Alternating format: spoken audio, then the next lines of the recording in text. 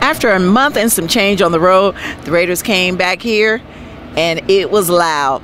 They beat the Detroit Lions 31 to 24 and we have a new Mr. October here in the Bay Area, not baseball wise, but football wise.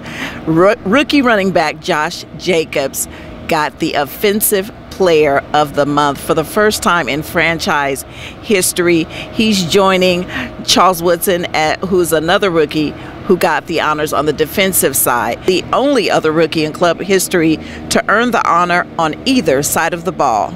Here's head coach Jon Gruden we're building a team, and uh, I like some of the blocks that we got in place. I'm going to leave it at that. We got a heck of a challenge on a short week. We're missing a lot of key players, and I know the Warriors are missing key players, and it ain't easy. The game went down to the wire, but the defense kept it together. Karl Joseph made a great defensive stand, and I had a chance to ask him after the game what it felt like coming back here and not playing on a baseball field. Uh, it felt great. My knees are uh, thankful for that too.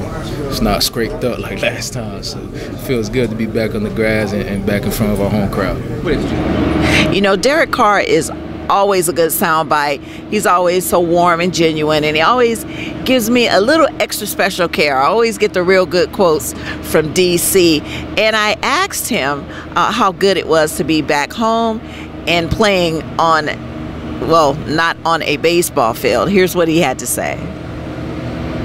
Yes, uh, we miss our baseball field.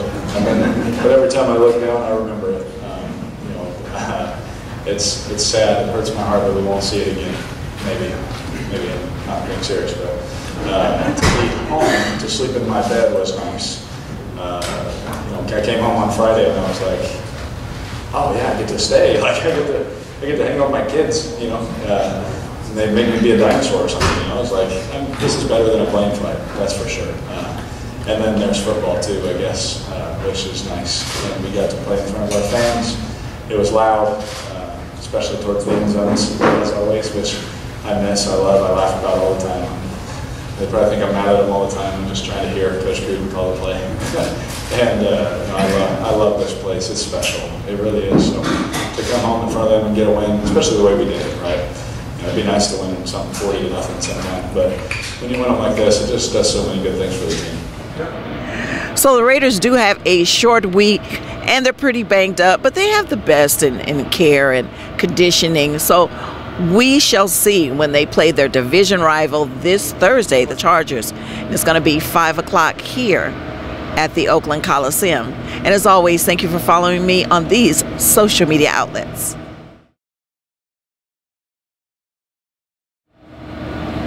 And before I go, I want to honor the late Willie Brown, who died a week and a half ago.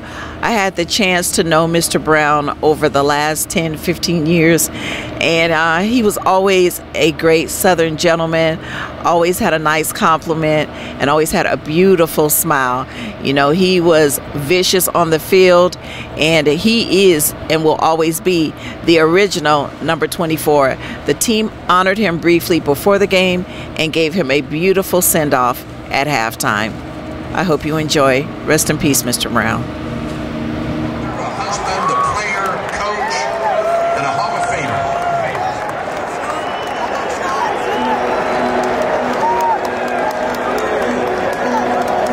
Among the football giants whose names have been cemented in Raiders lore, only one had equal parts Louisiana charm and lethal on-field tenacity.